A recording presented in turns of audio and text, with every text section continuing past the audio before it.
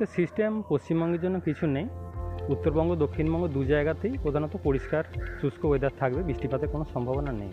রাতের তাপমাত্রা দক্ষিণবঙ্গে আগামী আটচল্লিশ ঘন্টায় আরও দু তিন ডিগ্রি মতো কমার সম্ভাবনা রয়েছে।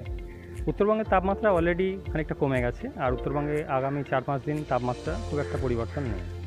কলকাতা বা তার পার্শ্ববর্তী অঞ্চলে রাতের তাপমাত্রা যেটা আজকে সকালে ছিল আঠেরো দশমিক দুই ডিগ্রি সেলসিয়াস। এটা স্বাভাবিকের থেকে প্রায় two point seven degree Celsius বেশি।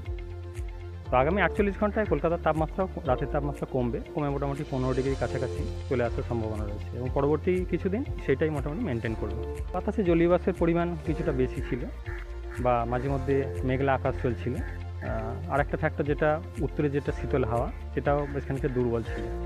মেনলি ময়েশ্চার বেশি থাকা ক্লাউডিং থাকা মাঝে মধ্যে, এইসব কারণে রাতের তাপমাত্রা খুব একটা কমতে পারছিল না। এটা আগামী কিছুদিন এটাই কন্টিনিউ হবে। কমে যাওয়ার পর আর খুব একটা বাড়বে না, মোটামুটি এটাই মেনটেন করবে। তো সিস্টেম পশ্চিমবঙ্গের জন্য কিছু নেই। উত্তরবঙ্গ, দক্ষিণবঙ্গ দু জায়গাতেই প্রধানত পরিষ্কার, শুষ্ক ওয়েদার থাকবে, বৃষ্টিপাতের কোনো সম্ভাবনা নেই। রাতের তাপমাত্রা দক্ষিণবঙ্গে আগামী আটচল্লিশ ঘন্টায় আরও দু তিন ডিগ্রি মতো কমার সম্ভাবনা রয়েছে। উত্তরবঙ্গের তাপমাত্রা অলরেডি খানিকটা কমে গেছে, আর উত্তরবঙ্গে আগামী চার পাঁচ দিন তাপমাত্রা খুব একটা পরিবর্তন নেই। কলকাতা বা তার পার্শ্ববর্তী অঞ্চলে রাতের তাপমাত্রা যেটা আজকে সকালে ছিল আঠেরো দশমিক দুই ডিগ্রি সেলসিয়াস এটা স্বাভাবিকের থেকে প্রায় two point seven degree Celsius বেশি।